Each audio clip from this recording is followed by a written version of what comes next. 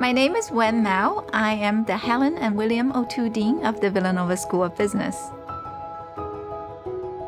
I joined Villanova in the summer of 1995. I was looking for a place that commits to not only research but also teaching, because both are important to me. What made my time and VSB so special is not only the welcoming community, is the tremendous upward trajectory that we have been on and continue to be on in the past two decades.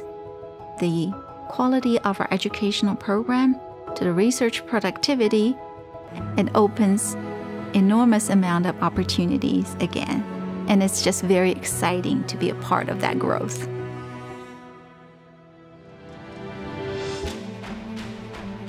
We provide the most value added education to our students and we are grounded in our Augustinian values.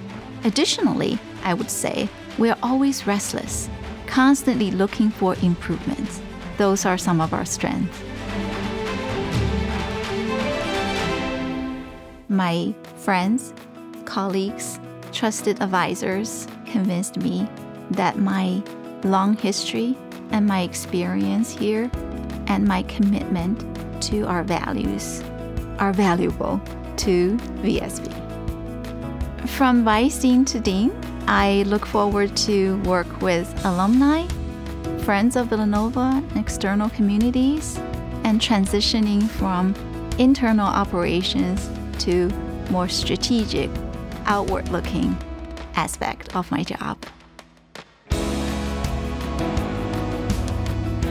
What I hope to accomplish in the immediate few months, definitely more fundraising activities, and also conduct a listening tour to make sure we collectively form the right path for the next 100 years of VSB.